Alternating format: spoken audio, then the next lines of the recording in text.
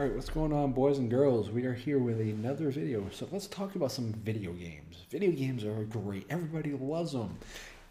Um, and we all love developers and publishers for making these great video games. Oh wait, I spent two and a half years trying to get video game companies to understand that gamers are consumers. These are consumable products that we buy that have limited shelf life and we consume them in an entertainment format. So these are consumable products, hence consumer. Not, you know, wallet money, wallet money, wallet, you know, not that.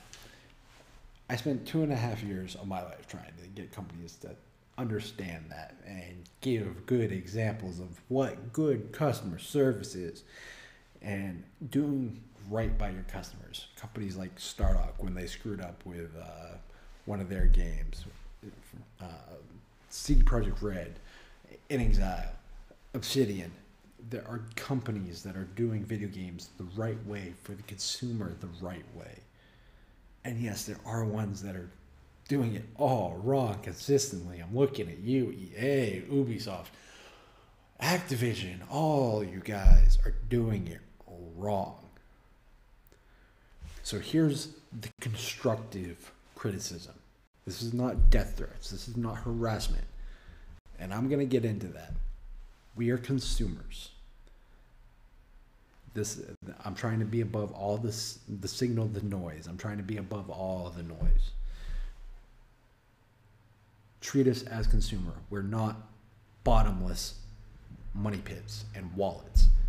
We're not, you know, you yell and scream at us for gamers essentially perceiving you guys as nameless, faceless corporations. Can you really blame them when you treat them as essentially just an open wallet and a hand handing you money? And that's the mentality you take. Now, I'm not saying making money is bad. Money is good.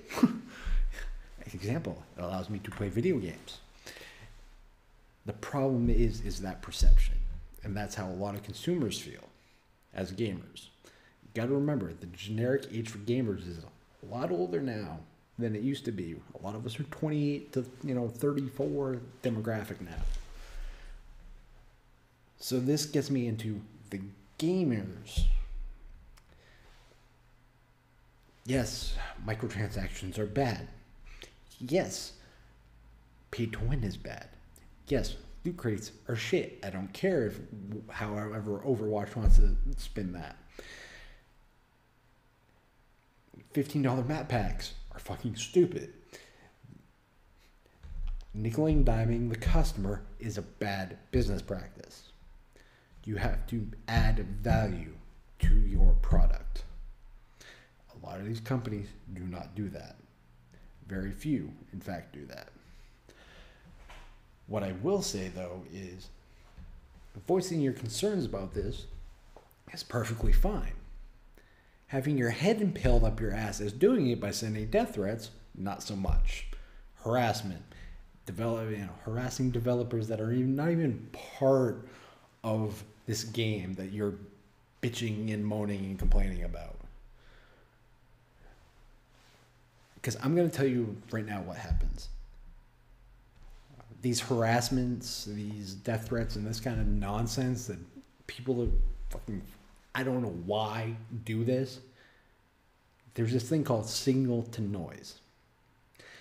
The more signal that gets through the fucking noise, that bullshit that you guys are doing, which is the noise, gets back to them.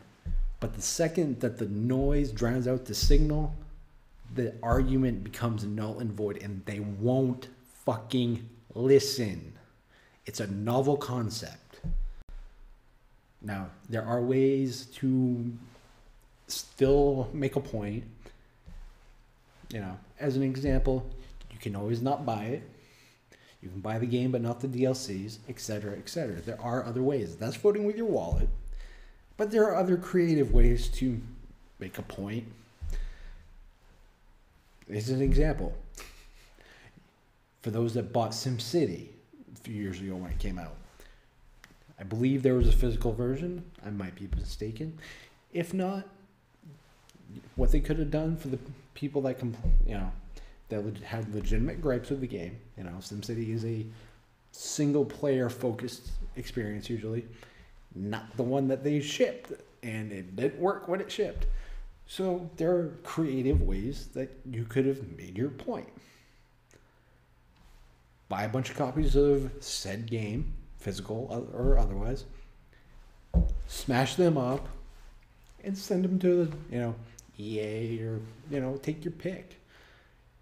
And be like, just on the note, this is your game currently. You're not being a jackass. Oh, okay, you're being a little bit of a jackass, but you're getting your point across without sending death threats about a fucking entertainment.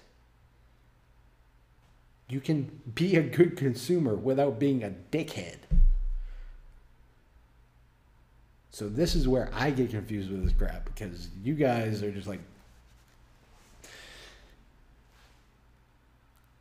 get your head out of your ass if you're these gamers that are doing this crap because give the rest of us who actually do have legitimate concerns about business practices in the industry a bad name and a bad rap and when we do voice when gamers as consumers do voice concerns within the gaming industry that is where you guys are making the rest of us look bad and i'm talking gaming as a whole and you contribute to this like perceived nature of toxic culture and stuff. Newsflash: a lot of us aren't like that. A lot of us just don't speak up, and that's the problem too. Speak up. Don't let this nonsense keep going because this is bullshit. So I'm telling the ones that want to complain, by all means complain constructively. The ones that are troll, essentially being trolls, douchebags, and death threats and harassment, you're supposed to be above the clouds. Don't keep having your head impaled in your ass because apparently you can't see what you're doing to everybody else that does keep their head above the clouds and tries to make points, valid structural points. And developers and publishers, I just got one thing to say to you be good to your customers. We're not money. We, we're not just an open wallet that you got uh, that we can keep, keep handing money to. So, you know, like it or lump it, everybody's got a, everybody's got a horse in this fight, and the only way is conversation and being honest with each other, but you can still be civil and quite frankly, not dickheads. But that's just my take. I might be the naive one. I might actually have a little hope for humanity, and gamers might be wrong. But that's my take. You guys know what to do. Ready, subscribe. Peace.